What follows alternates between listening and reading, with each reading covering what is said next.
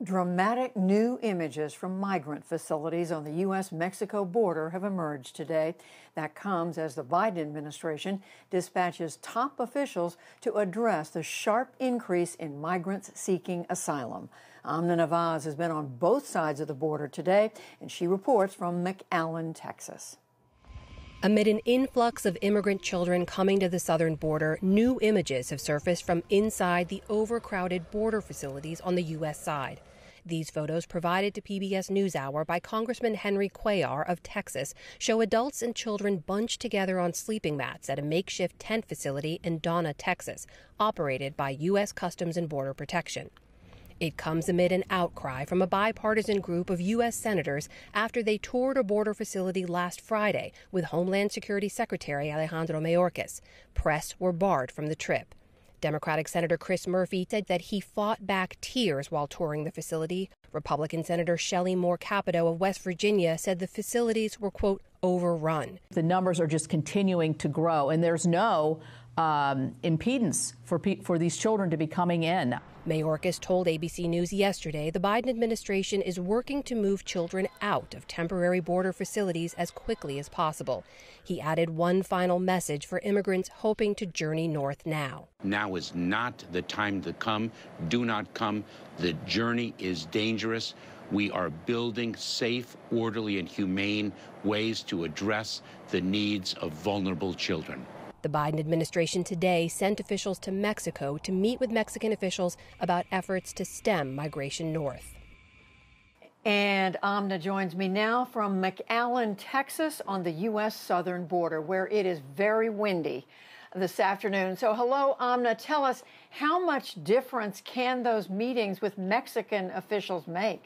Well, certainly, Judy. I, I, think they're hoping that those meetings can help to stem some of the flow making its way up to the U.S. southern border. But the truth is that the problem starts much further south. I have to tell you, the vast majority of people we met with today are coming from those three Central American countries of El Salvador, Guatemala, and Honduras.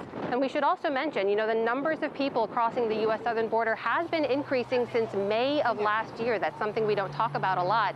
It did increase dramatically in the fall, and of course, here we are hitting these 20-year highs with over 100,000 people crossing in February. But it's important to note, too, the vast majority of people crossing the border, over 80%, are single adults. And the vast majority of people crossing that border are still being almost immediately expelled. That includes families.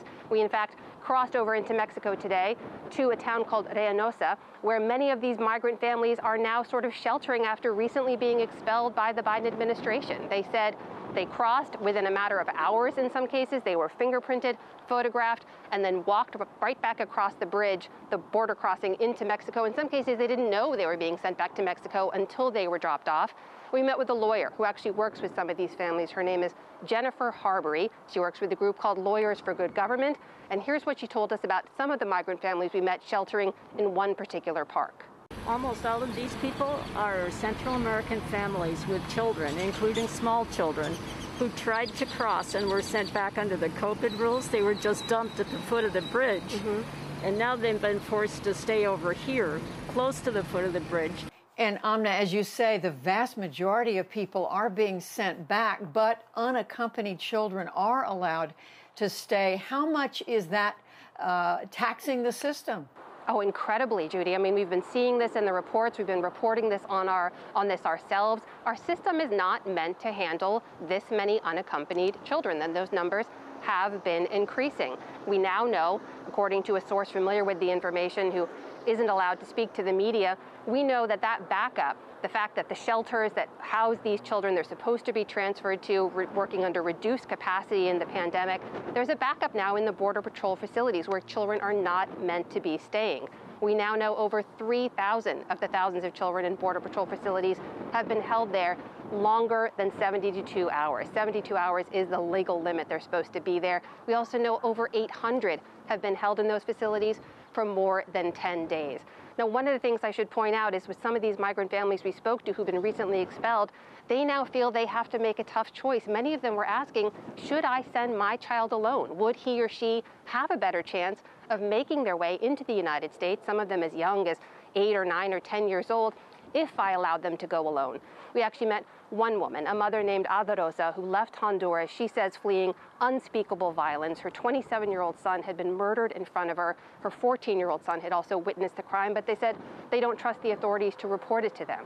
So they made their way to the U.S., to the southern border, spent their life savings, have survived and seen unspeakable scenes, and they were immediately expelled back into Mexico.